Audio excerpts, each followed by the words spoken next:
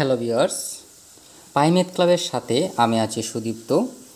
আপনারা যারা অনার্স প্রথম বর্ষে রয়েছেন, অর্থাৎ যাদের পরীক্ষা আগামী সতেরো তারিখ থেকে শুরু হবে, তাদের জন্য আমি নিয়ে আসলাম লিনিয়ার অ্যালজেব্রা পিডিএফ। বা এটাকে আপনি শর্ট সাজেশন বলতে পারেন, একটা পিডিএফ আকারে আসলে আমি দিয়ে দিলাম আর কি।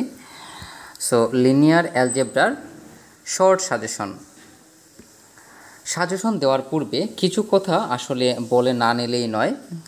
প্রথম বিষয়টি হচ্ছে যে আপনাকে এই সাজেশনটি কীভাবে ফলো করবেন? অর্থাৎ আপনারা এই সাজেশনটি কীভাবে ফলো করবেন?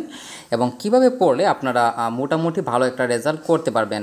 তো মনে রাখবেন, এই সাজেশনটি হচ্ছে যাদের প্রিপারেশন খুবই খারাপ, যারা মনে করেন অলমোস্ট কিছুই পারেন না, তাদের উদ্দেশ্যে আমরা এখানে শর্টকাট সাজেশনটি নিয়ে আসলাম।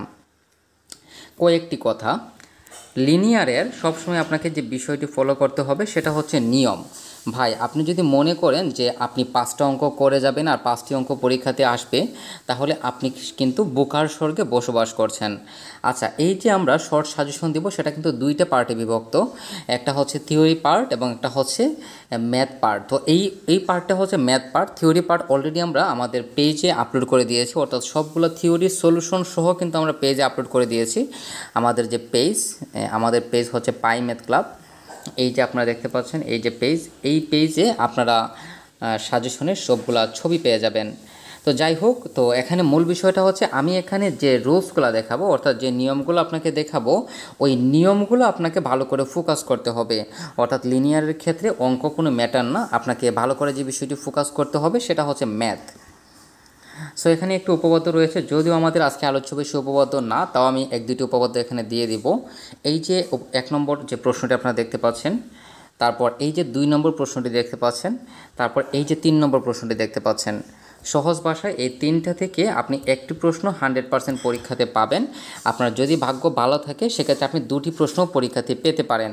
তবে এক্ষেত্রে আপনি পরীক্ষাতে মার্ক পাবেন তিন। মানে হচ্ছে এটি ছোটো প্রশ্নতে পরীক্ষাতে আসতে পারে এবং যদি বড় প্রশ্নতে আসে তাহলে এই প্রশ্নের সাথে আপনি আরেকটি প্রশ্ন পেয়ে যাবেন। এখন দেখেন ব্লক ম্যাট্রিক্স পদ্ধতিতে বিপরীত ম্যাট্রিক্স নির্ণয়। খুবই ঘন ঘন এই প্রশ্নটি পরীক্ষাতে আসে, অর্থাৎ এই নিয়মটি আমি আবারও বলছি, ভাই, এই যে সাজেশন এই সম্পূর্ণ সাজেশনটা হচ্ছে নিয়ম নির্ভর। অর্থাৎ যে নিয়মগুলো আমি বলব, ওই নিয়মগুলো আপনি ভালো করে পড়ে যাবেন। যদি এই নিয়মগুলো আপনি ভালো করে আত্মস্থ করতে পারেন, তাহলে দেখবেন যে আপনি যে কোনো প্রশ্ন পরীক্ষাতে আনসার করতে পারবেন। ইচালনাকার। এই ইচালনাকার হচ্ছে লিনিয়ার প্রোগ্রামিংয়ের সরি লিনিয়ার অ্যালজেব্রার টার্নিং পয়েন্ট কারণ হচ্ছে এই ইচালনাকার যদি আপনি না পারেন, ভাই, এর পেছনে যতগুলো অঙ্ক রয়েছে, আপনি কোনো অঙ্কেই পারবেন না। তার মানে এই ইচালনাকার আপনার হান্ড্রেড পার্সেন্ট প্রয়োজন। সরাসরি ইচালনাকার যদি পরীক্ষাতে নাও আসে, তাও আপনাকে ইচালনাকার পারতে হবে। ইচালনাকার যদি আপনি না পারেন, তাহলে আপনি ডেফিনেটলি পরীক্ষাতে ফেল করবেন। এই যে র্যাঙ্ক নির্ণয়, এখানে যে কোনো প্রশ্ন পরীক্ষাতে আসতে পারে, অর্থাৎ র্যাঙ্ক নির্ণয় রিলেটেড যে কোনো প্রশ্ন আপনার জন্য গুরুত্বপূর্ণ। হ্যাঁ এখানে দুটি উপপাদ্য নিয়ে আমরা আলোচনা করব। প্রথমটা হচ্ছে কোশি সৌহার্যের যে অসমতাটি, সেই অসমতাটি অলমোস্ট হান্ড্রেড পারসেন্ট আপনারা বলতে পারেন। অথবা এখানে মেন কস্কের যে অসমতাটি রয়েছে, এটা হচ্ছে সলিউশন আচ্ছা আপনারা যদি এই সম্পূর্ণ এই সাজেশনের বা এর শর্ট সাজেশনের যে ম্যাথগুলো আমি দেব, সেই সাজেশনের যদি আপনার সলিউশন চান, তাহলে অবশ্যই কমেন্টে রেসপন্স করবেন। আমি চেষ্টা করব সবগুলো প্রশ্নের সলিউশন দিয়ে দেওয়ার জন্য। তাহলে এই যে কোশি সৌহার্যের অসমতা এই যে কোশি সৌহার্যের অসমতা এবং মেন্স বোস্কের যে অসমতা বা ত্রিভুজ অসমতা, দেখেন এই প্রশ্নটি দুভাবে পরীক্ষাতে আসতে পারে। একটা হচ্ছে R to the power N এ মেন্স বোস্কের অসমতা অথবা ত্রিভুজ অসমতাটি বর্ণনা এবং প্রমাণ করো। এই ত্রিভুজ উপপাদ্যটি যদি পরীক্ষাতে আসে, তাহলে এটি তিন মার্কের জন্য পরীক্ষাতে আসবে এবং যদি এই মেন বোস্কের অসমতাটি পরীক্ষাতে আসে তাহলে এটি দশ মার্কে পরীক্ষাতে আসবে। কারণ হচ্ছে এই প্রশ্নটি কিন্তু আপনাদের জন্য খুবই গুরুত্বপূর্ণ। কোশি সোহার্যের অসমতাটি দশ মার্কে আসতে পারে এবং মিন ঘোষকের যে অসমতাটি, এটি কিন্তু এখানেই শেষ।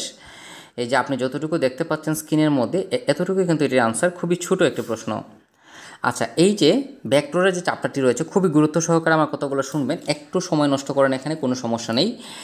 এই যে ভ্যাক্টোরের যে প্রশ্নগুলো রয়েছে, এই প্রশ্ন থেকে প্রতি বছর কিন্তু সাত প্লাস তিন, অর্থাৎ এগারো মার্কের মতো পরীক্ষাতে এসে থাকে, যেখান থেকে একটি ছোট প্রশ্ন এসে আসে এবং একটি বড় প্রশ্ন আসে।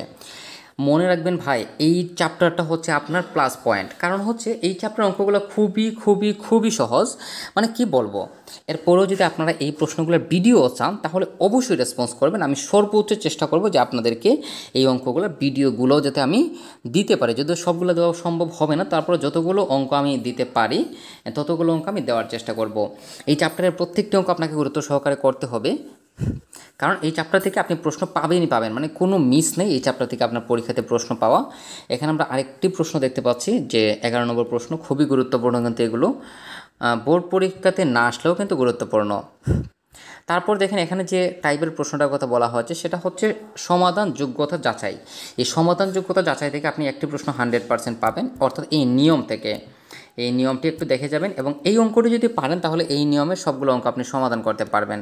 আমাদের কাছে প্রত্যেকটি প্রশ্নের সমাধান রয়েছে, আপনারা যদি চান অবশ্যই বলবেন আমরা সমাধান করে দেওয়ার চেষ্টা করব। আচ্ছা এই যে একটি মজার অঙ্ক ভাই, কি বলব? এই অঙ্কটা আসলে এতটাই মজা যে আপনি এটা আপনার জন্য ডাবল প্লাস পয়েন্ট বা গোল্ডেন প্লাস বলতে পারেন এটাকে। মানে হচ্ছে এই প্রশ্ন থেকে হান্ড্রেড পার্সেন্ট সাত মাস আসবে। এই সাত মার্ক কখনও পরীক্ষাতে আসা মেয়ে যায় না। প্রত্যেক বছর আসছে আসবে এবং ভবিষ্যতে কিন্তু আপনারা পাবেন। সো এই টাইপের অর্থাৎ এখানে এই টাইপ বলতে টাইপটি কীভাবে আপনি মনে রাখবেন? অনন্য সমাধান, একাধিক সমাধান এবং সমাধান নেই।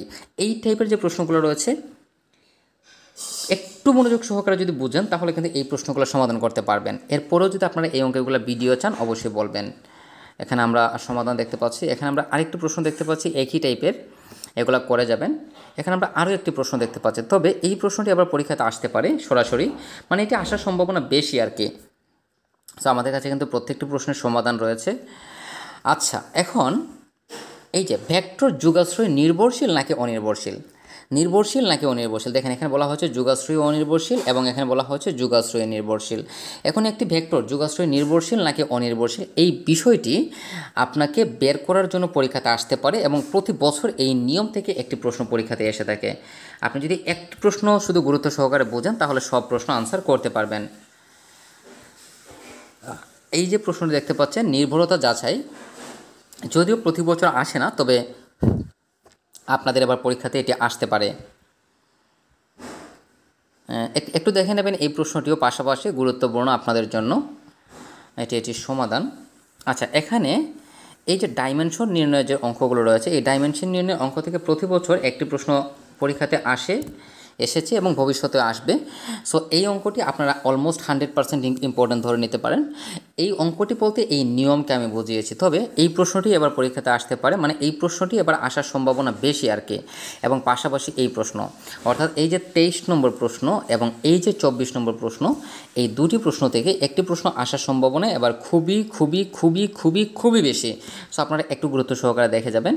এবং এখানে আরেকটি কথা হচ্ছে, এটির কিন্তু একটি উপবদ্ধ রয়েছে। এটি আমরা থিওরি পার্টে দিয়েছিলাম, সেটিও কিন্তু পরীক্ষাতে আসতে পারে। অর্থাৎ অঙ্ক যদি আসে তাহলে উপপাদ্য আসবে না এবং উপপাদ্য যদি আসে তাহলে অঙ্ক পরীক্ষাতে আসবে না। র্যাঙ্ক এবং শূন্যত্ব নির্ণয়, আপনি শুধু ইচালন আকার করে সরাসরি মানটা বের করতে পারবেন।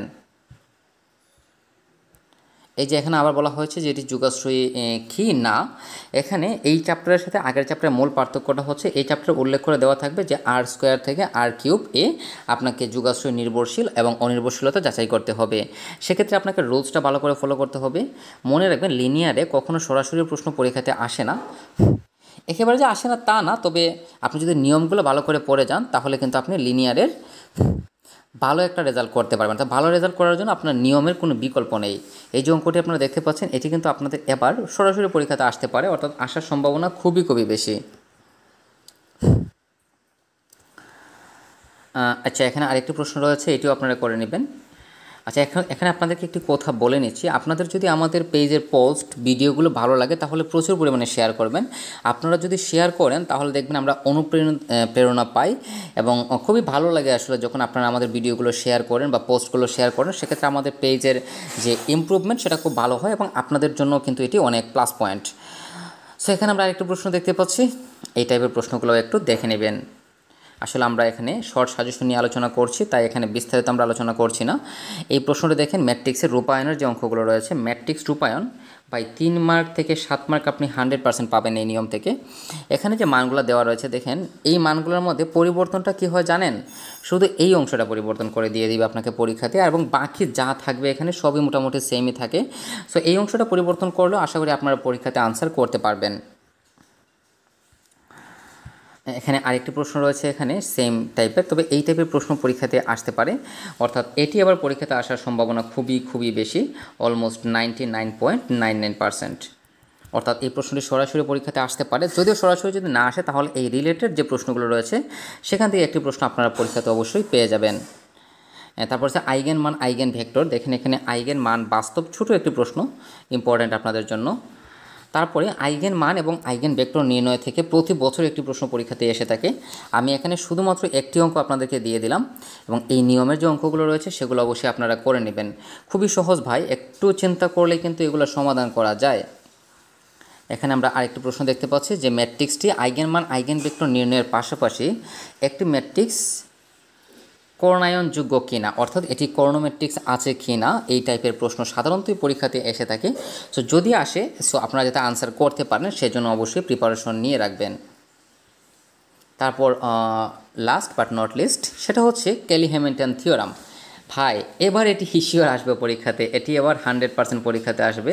কেন জানেন? কারণ কেলি হ্যামিল্টন থেকে প্রতি বছর একটি প্রশ্ন পরীক্ষাতে এসে থাকে। এক্ষেত্রে দুটি পার্ট একটা হচ্ছে থিওরি, অর্থাৎ কেলি হ্যামিল্টনের যে উপপদ্ধতি এবং আরেকটি হচ্ছে ম্যাথ।